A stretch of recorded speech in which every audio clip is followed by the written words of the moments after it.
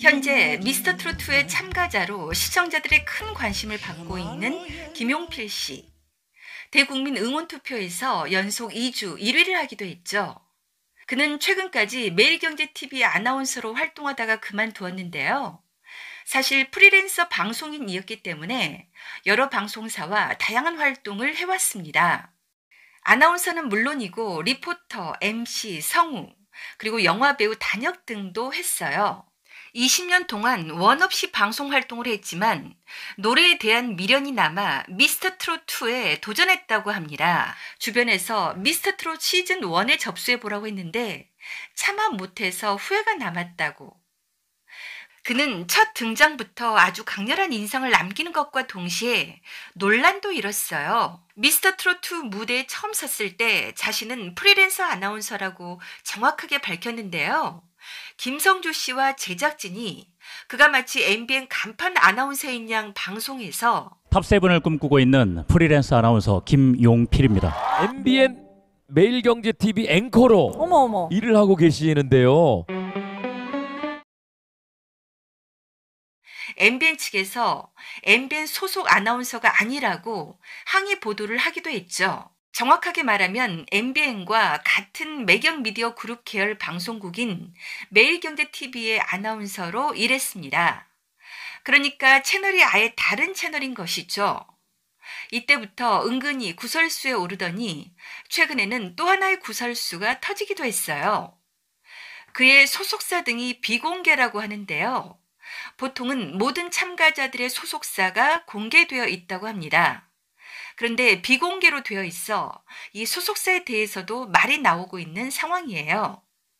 그에 대해 좀 더 자세하게 알아보았습니다. 김용필 씨는 1975년생으로 이제 우리나라가 만 나이를 쓰니까 47살인데요. 기존 우리나라 나이로 하면 49살입니다. 학력은 국민대학교 자동차 공학 학사. 키는 186cm로 상당히 큰 편이죠. 최근 그의 아내가 밝혀져 큰 화제를 모았어요. 2009년 국내 항공사 승무원이었던 이기정 씨와 결혼했는데요. 아내가 상당히 미인입니다. 슬아에 아들 한 명, 딸 한 명이 있다고 해요. 또 한 가지 눈길을 끈 것이 있죠. 배우 박성웅 씨와 상당한 절친 사이로 보입니다. 그의 결혼식 사회를 박성웅 씨가 맡았는데요. 그 전에 있던 박성우 씨의 결혼식 사회는 반대로 김용필 씨가 봐줬다고 해요. 서로 결혼식 사회를 품앗이 한 것이죠. 또한 김용필 씨의 인도네시아 발리 신혼여행에 박성웅, 신은정 부부도 함께 갔다고 합니다. 박성웅 씨가 결혼 당시 스케줄 때문에 신혼여행을 못 가서 그랬다고 해요.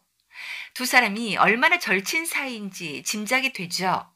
김용필 씨에 대해 상당히 걱정스러운 내용도 나왔는데요. 그는 과거 사고 전문 리포터로 활동하며 강력 사건을 취재한 적이 많았다고 해요. 끔찍한 사건들을 취재한 날은 잊으려고 노력했고 비우지 않으면 사건들이 머릿속을 뒤죽박죽으로 만든다고 합니다. 그런 끔찍한 기억들을 잊으려고 노력하다 보니 직업병이 생겼다고 하는데요. 건망증이 생겼다고 해요. 이 비슷한 얘기를 문정훈 선생님이 그의 사주풀이를 하면서 하셔서 소름이 돋았어요. 또한 미스터 트로트 9회 본선 3차 2라운드 대장전에서 김용필 씨가 열애를 열창하는데요. 입술에 분장으로도 가려지지 않은 물집이 있었는데 선생님께서 말씀하신 것과 일맥상통하더라고요. 문정훈 선생님과의 녹음은 이 방송 전에 했거든요. 그가 과연 정식으로 가수로 데뷔한 것이 잘한 것인지, 앞으로 얼마나 잘 될 것인지 궁금해서 명리학 상담가 문정호 선생님께 여쭤보았습니다. 가수 이명웅 씨와 박세욱 씨의 우승을 맞춰서 화제가 되었던 유튜브 사주 처방의 명리학 상담가 문정우 선생님께서 드디어 많은 분들이 요청하셨던 명리학 강의를 오픈합니다. 선생님을 직접 뵙고 대면으로 수업을 받을 수가 있습니다. 사람은 정말 좋으시네요. 그런데 네. 명리학은 이 계절이면서 기후로 사람의 사주를 본다겠잖아요. 예? 네. 근데 자 이분 사주를 보면은요 큰 산으로 왔어요. 산은 어떻습니까? 동식물을 기르지 기른다겠지요. 네. 그러면은 누구를 기른다는 것은 포용한다는 뜻이잖아요. 예? 그렇죠. 근데 봄에 태어났어요. 초봄이니까 음, 약간 쌀쌀하기는 해요. 예? 근데 토끼띠거든요. 네. 그러면 묘가 또 봄이라는 글씨가 더 강한 봄이란 뜻이 옆에가 있으면 이제 완연한 봄이란 뜻이에요. 그러면 굉장히 강하게 보이잖아요. 큰 산이라 하니까. 예. 근데 이분은 그렇게 강한 분이 아니에요. 아, 그래요? 옆에가 또 산이 있어요.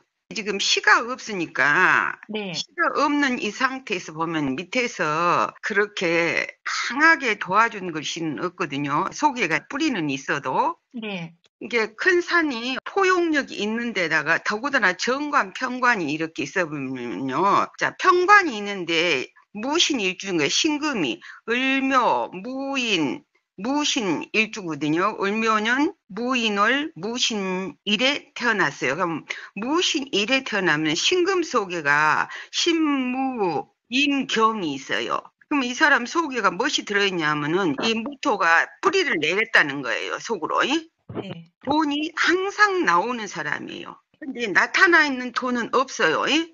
네. 근데 우물이 돈이다 그러면은 우리가 퍼서 쓰면은 또 나와서 그만큼 채운다겠지요. 네. 그러듯이 그런 우물을 깔고 앉아 있어요. 그러니까 산 속에 샘이 있는 거죠. 아, 물이 항상 나오는 샘이. 네. 그게 무엇이냐면 돈이에요, 돈. 네. 그 물이 여기는 이? 네. 식물을 기르면서 식물은 여기서 뭐냐면 자녀면서 직장이에요. 아, 근데 이분 사주에 보면요. 네. 한 가지 직장만 못하게 돼 있어요. 아, 정관이 크게 강하게 있고 평관이 있는데 평관을 인신충해서 평관이 인목인데 무인 인목인데 인신충하면 평관이 정관으로 바뀐다고 써 있어요. 평관은 법, 도덕, 질서 이렇게 강한 사람이거든요. 직관력도 뛰어나고 네. 근데 그 글씨를 너무 강하기 때문에 쳐준다는 거예요. 정관으로 바뀌어 사람이 너무 좋아요. 너무 좋아. 뼈 없이 좋은 사람이에요. 뼈 없이 좋다고요? 예. 네. 내면으로 들어가면. 근데 자기가 피곤하죠. 아, 그러잖아요. 그렇죠. 남 앞에서 좋게만 하려고 원리 원칙대로만 하려고 하고 또 분쟁이 난다든가 뭐 어떤 일이 나면은 또 중간 역할을 잘하는 분이세요. 아, 이 자기가 항상 피곤한데 네. 이 관이 직장이면서 자녀인데 네. 이렇게 관이 두 가지 것이 이렇게 확실히 있어 보면은 애기들 둘이란 말이 맞아요. 그러니까 네. 그 아이들도 지금 다 좋아요. 응? 음. 하나이가 강하게 있는데 충의해서 바르게 만들고 있는데 이미 이분은 태어날 때부터 사주 구조가요. 직장을 하나만 갖고는 못 지낸 분이세요. 여러 가지 것을 했더라고요. 그렇죠. 네. 그 지금 보면은요. 서른아홉 이쪽 저쪽부터도 네. 계속 변동이 왔어요. 음, 네, 변동을 했든 안 했든 서른아홉 이전에도 변동이 올 수 있고요. 잉? 네. 항상 변동이나 왜냐면 무신일주에서 인신충하고 있으면 산에 지진이 난 격이에요. 그러니까 가만히 못 있어요. 그렇게 강화도 안 한 분이. 그래서 자꾸 변동이. 근데 49세 이쪽 저쪽부터는 올해 49세거든요, 지금. 이미 49세 그 안에도 계속 무엇인가 내면적으로는 많이 변동이 있었어요. 네. 49세부터는 강하게 변동이 일어나요. 자기를 도와준 친구들하고 합세해서. 자기가 약하니까 옆에 큰 산을 더 좋아하고 있거든요, 지금. 근데 그가 합세해갖고, 그들하고 합세해서 변동이 크게 일어나요. 그게 아, 뭡니까? 이 노래죠, 노래. 지금 이거 전국으로 모집을 해서 한 사람들이니까 똑같잖아요. 네. 예. 막 서로 잘났다고 지금, 이게 그냥 무기화, 그러니까 태양이 떠오르거든요, 큰 산이. 네. 근데 영필씨 사주에 태양은 없는데 여기까지는 태양은 없는데 무인 월에 태어나서 그 인소기가 인무병갑 해갖고 병화가 있어요. 그것이 땅에서 위로 솟구치니까 자 산이 네. 동식물을 길려면 태양이 필요하지 않아요. 필요하죠.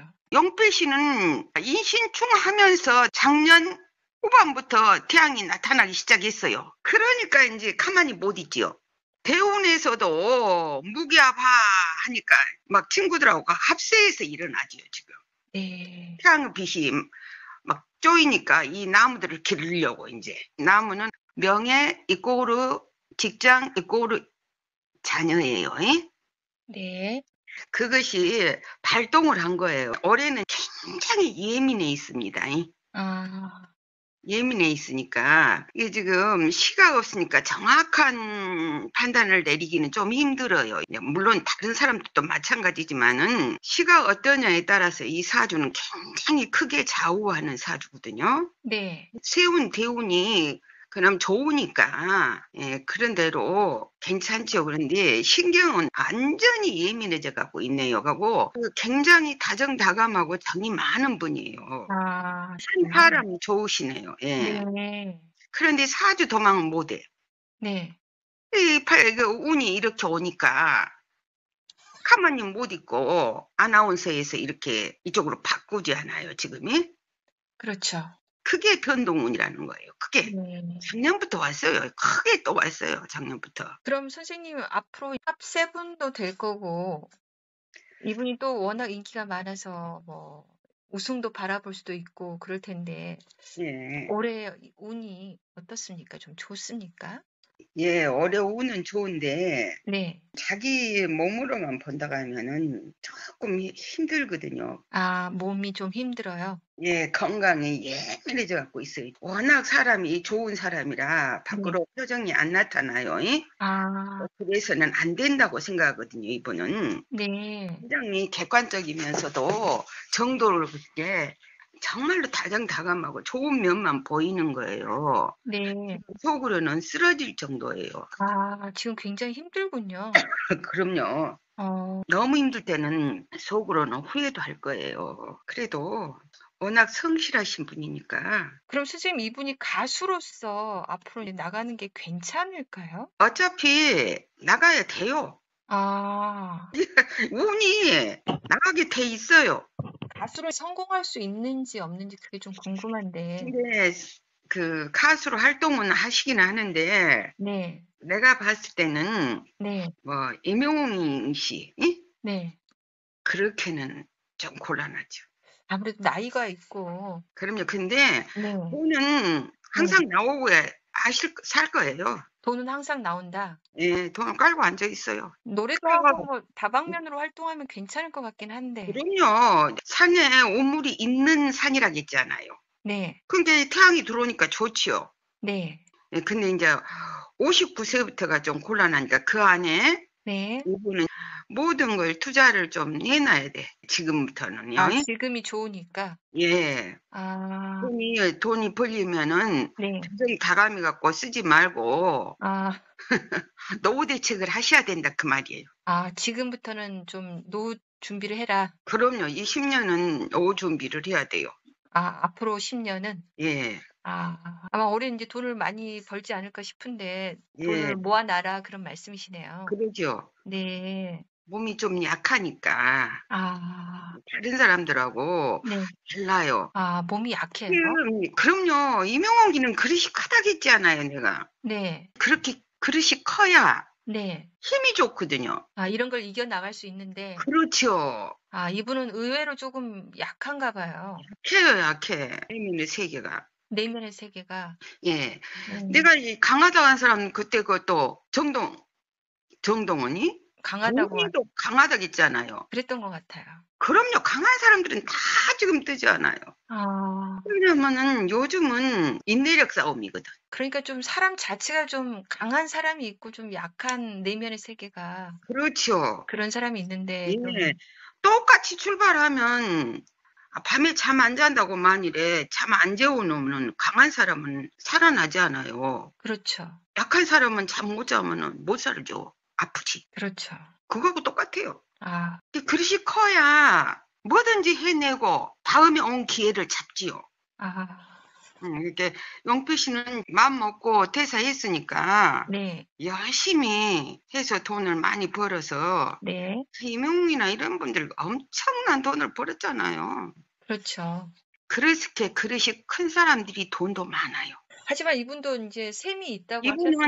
항상 돈이 나오는 셈을 깔고 앉아 있는 음, 그 음. 산이니까 나중에 네. 가르치는 쪽으로 나가도 되지요. 아, 제자 양성. 네. 음. 어울리네요. 예, 음, 그렇게 나가셔야 될 분이에요. 아, 네, 식신이란 것이 아까 그 셈이라는 소- 것이 식신이면서 속이가 물이 들어 있으니까 돈이면서 물이니까 식신은 제자란 뜻이에요. 아, 그 그러니까 그쪽으로 나중에 이 타이틀을 갖고 가르치는 쪽으로 가시면 되겠어요. 예? 제자 양성. 아, 왠지 좀 어울려요. 예. 사람이 점도 점잖, 점잖으셔가지고. 예. 그리고 직관력이 뛰어나요. 네. 그렇게 하시면은 걱정 없어요. 잘 하셨네. 이혼은 가만히 있을 수가 없어요. 바꿀 수밖에 없어요. 음, 그때 텔레비에서 보니까 장윤정 씨가 내려놔도 되겠다고 그래서 내려놨다고 얼른 들은 게 그런 것 같던데 맞아요. 네. 아 이분이 이미 가만히 못 있어요. 그게 돼 있습니다.